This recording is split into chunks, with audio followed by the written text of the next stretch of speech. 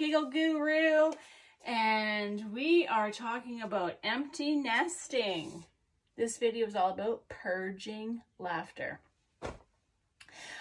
Oh, well, kids are getting ready to move out. This is a final step. They are moving on. They're going to find their own place. And we, as parents, are empty nesting. And we're also preparing our kids to move out and to create a life of their own and their own identity. And as we do that, we are purging. We're getting rid of stuff. and when you're getting rid of it, if the kids don't want it and you're no longer using it, put it in a pile and donate it. Have a yard sale, make a little bit of profit from what you have here.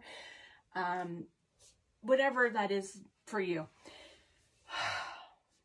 hmm. So, my suggestion for purging laughter is to invite the kids to go around the house and to look at different things that have been collected in your home and things that they might want to take. Maybe even going into the kitchen and kitchen and taking a few things that you don't use anymore for utensils, putting them in a pile and gifting them to the kids. As you're purging, they can look at things and go, yes, I, you know, I really like that. And you might even be surprised at what they find that you're like, I didn't even know you'd want that. If you've had your children purge your house and they've taken something that you're just like shocked about, drop a comment. Let me know what it is because, yeah, there's some things that you're like, really, you want to keep that? so let's imagine that we are going through the house and we are finding items and we're just going to imagine we're showing them like this. And as we're doing that, we're laughing and just um, being in memory of what that item was to us and whether or not we're giving it to the kids, we're putting it in the yard sale or donation pile, um, and we're purging as we do. All right, are you ready? So let's go imagine. yeah, yeah.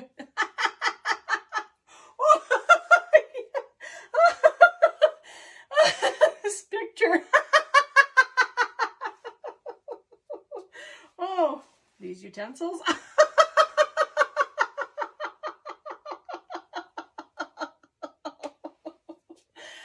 Oh, this blanket. yeah.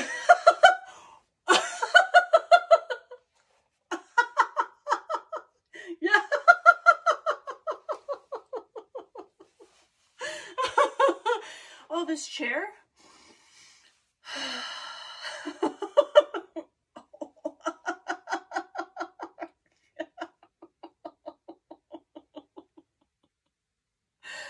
oh, take a deep breath in. Exhale. Mm, it feels good to let go of things that we no longer need in our lives. Mm. Mm. Please make sure to subscribe to my channel and uh, drop a comment. Let me know. Are you an empty nester? And how are you dealing with it? Remember, share a smile with a stranger. You never know. It may just change their day. Have a beautiful day, everyone.